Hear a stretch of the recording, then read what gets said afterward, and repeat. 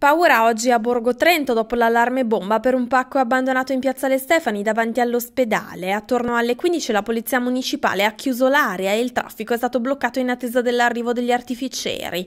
Dopo gli accertamenti della polizia il pericolo è rientrato. Poco prima delle 16 infatti una volta transenato il piazzale gli agenti hanno fatto brillare il sacchetto colpendolo con un getto d'acqua ad alta pressione rivelando che si trattava solo di una borsa di indumenti. Ad insospettire i passanti era stata quella busta abbandonata in modo a quanto pare volontario da un uomo che più volte si era girato attorno alla pensilina degli autobus.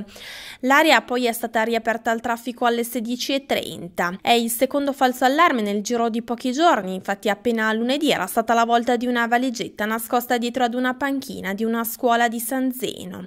Qualche minuto prima dell'inizio delle lezioni, un residente della palazzina vicina aveva chiamato la polizia.